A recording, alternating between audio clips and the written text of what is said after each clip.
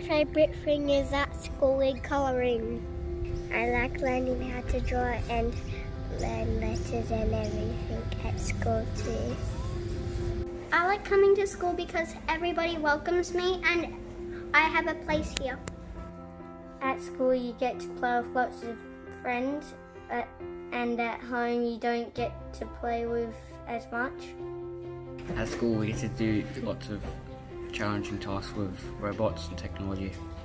At school you get to go on camps and excursions but at home you don't get really to do that stuff. I like coming to school because you, when you learn stuff, you have more of a chance of getting places when you're older, like if you want to apply for a job or something.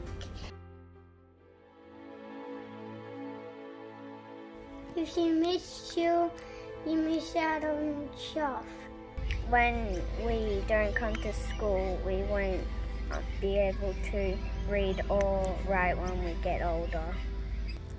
If you miss school, you miss out on the, all of the sport and the fun that stuff that you do at recess and lunch. When you miss out on school, when you come back, you don't know what to do. You miss out on fun.